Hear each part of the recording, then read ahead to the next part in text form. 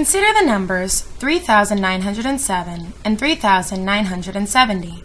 How can you decide which number is greater than the other? You must compare them.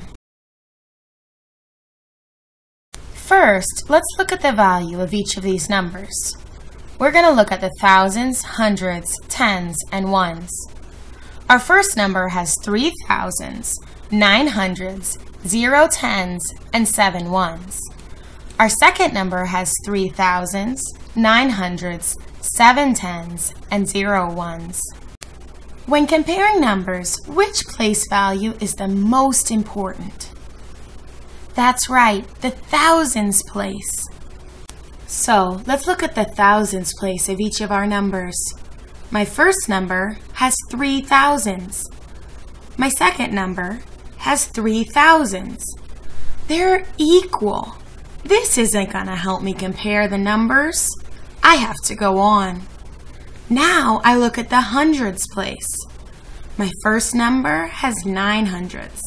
My second number also has nine hundreds.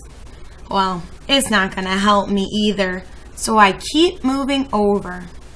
Now I look at my tens place. My first number has zero tens.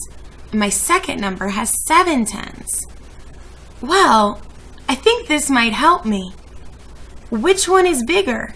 zero tens or seven tens?